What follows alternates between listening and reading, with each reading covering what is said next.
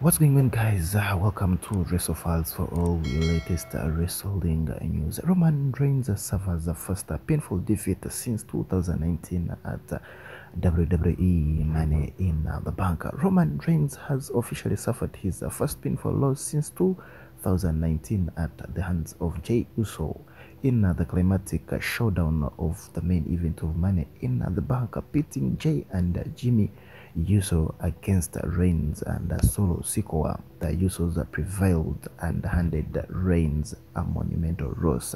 Roman Reigns was last pinned by Baron Corbin at the Tables, Ladders and Chairs premium live event that was in uh, December 2019. The painful looks marks a huge turning point in Roman Reigns' rule as the undisputed WWE Universal Champion, with no one having been able to pin or submit Reigns in over three years. Reigns has lost in other tag matches since being pinned by Baron Corbin in 2019, but he has never been the one to be pinned. Uh, there is added significance uh, to Jey being the man to pin Reigns as he was uh, the first victim of uh, the tribal chief that was in 2020, uh, which led to the start of um, the bloodline. the painful loss uh, will lead into next month's uh, WWE PLE SummerSlam, where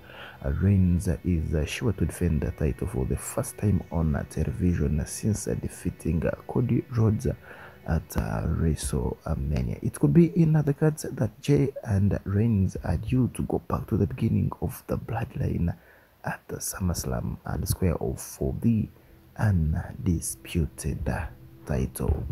Thank you so much for watching the Wrestle Files.